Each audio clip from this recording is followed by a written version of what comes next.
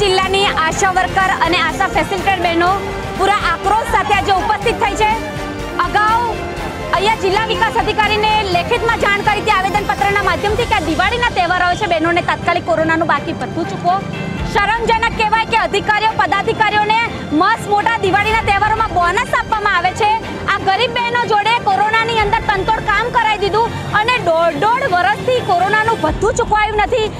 સાત મહિનાથી પચાસ ટકાનો વધારો ચૂકવાયો નથી, તો ખરેખર ગુજરાત સરકાર અને આરોગ્ય વિભાગની ખરેખર આ લાલિયાવાડી કહેવાય, એ લાલિયાવાડી હરગીજ ચલાવી દેવાનું નહીં આવે. તો ડીડીઓ સાહેબને જે ઉગ્ર રજૂઆત કરવા માટે આવ્યા છે કે તાત્કાલિકના ધોરણે આ બાકી પડતું જે મહેનતાણું છે એમને ચૂકવવામાં આવે, નહીં ચૂકવવામાં આવે તો ચાર તારીખે દિવાળીના દિવસે માન્ય ડીડીઓ સાહેબના પરિવાર સાથે એમના નિવાસ સ્થાને તમામ આશા વર્કરો એમના બાળકો અને એમના પરિવાર, સાસુ, સસરા સાથે અમે દિવાળીનો તહેવાર મનાવવા માટે જઈશું.